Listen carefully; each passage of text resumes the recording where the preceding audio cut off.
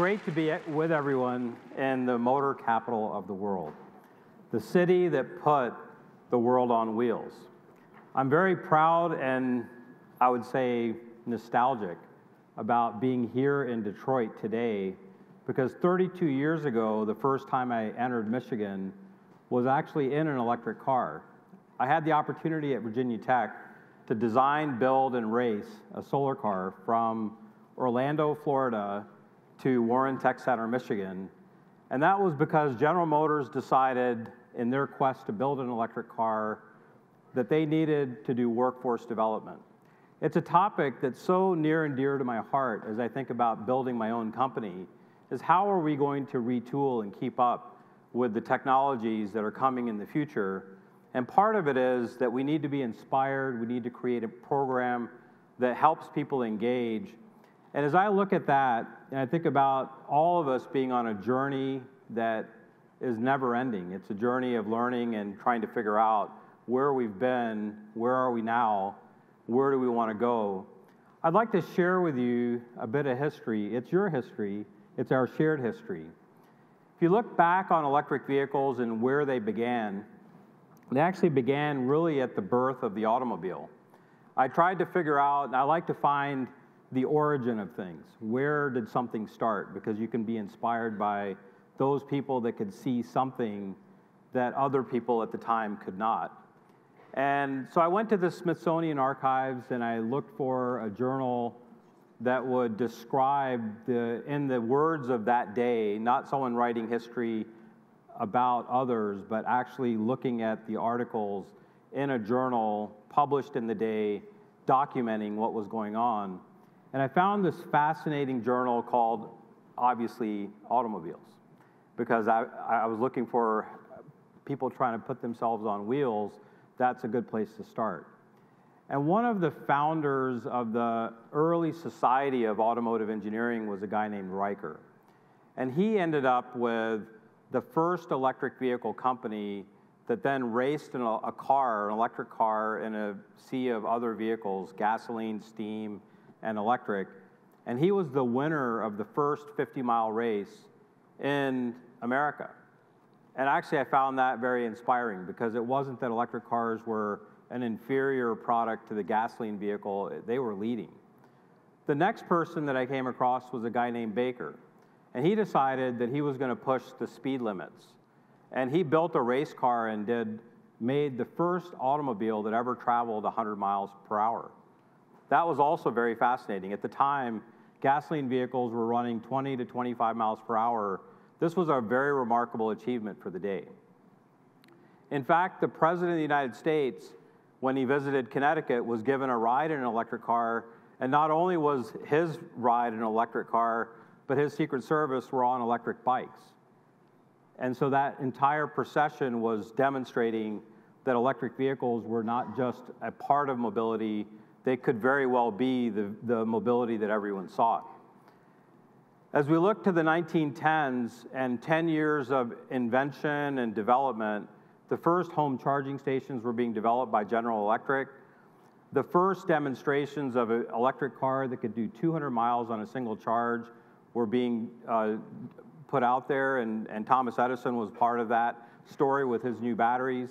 The first time a car went on a journey of 1,000 miles, showing that it could charge along the way, was also in the 1910s.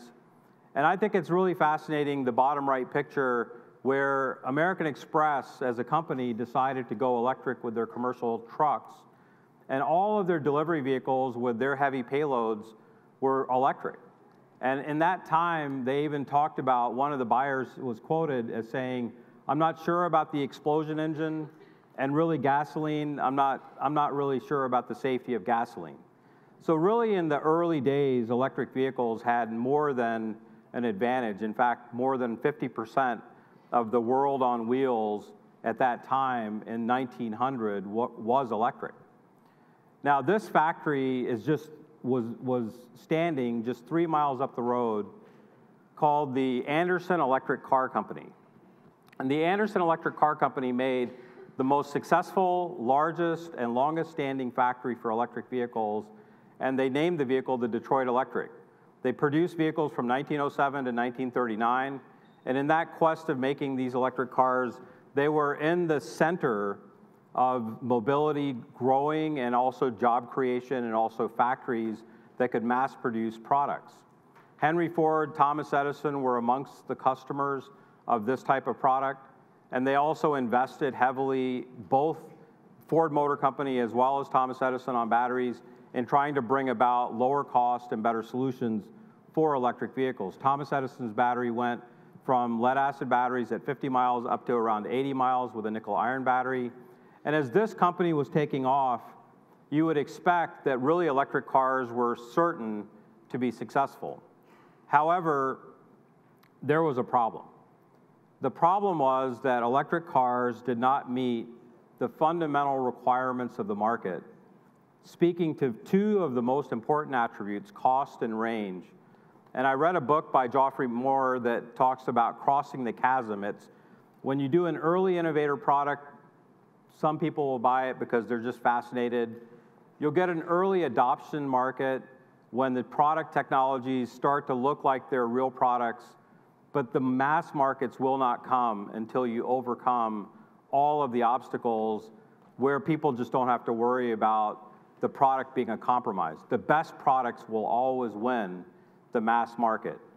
And so as I think about that, that's where I want to now draw from the lessons learned of crossing the chasm. In fact, it's so interesting to me that 100 years ago was the birth center of electric vehicle, and we're right now at the second birth center of electric vehicle. In 2020, I think we're standing at that chasm, and it's not a foregone conclusion that we will be successful unless we pay attention to what happened in the past, which is really around the topic of range.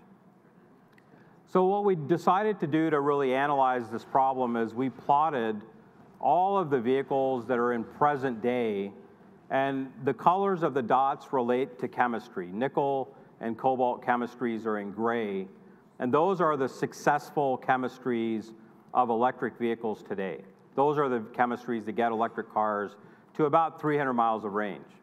But the problem with that range number that everyone's being promised is they don't realize when you drive on the highway or at, you're at cold temperature or both, you're going to lose range. And it's not just a small amount, it's not a few percent. It can be up to 50% of the range of an electric vehicle being lost at 80 miles per hour and say on a zero degree C day. That's a problem.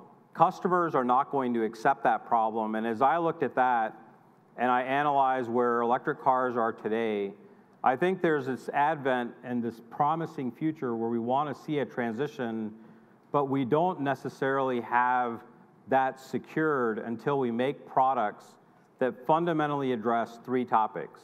We need to address range.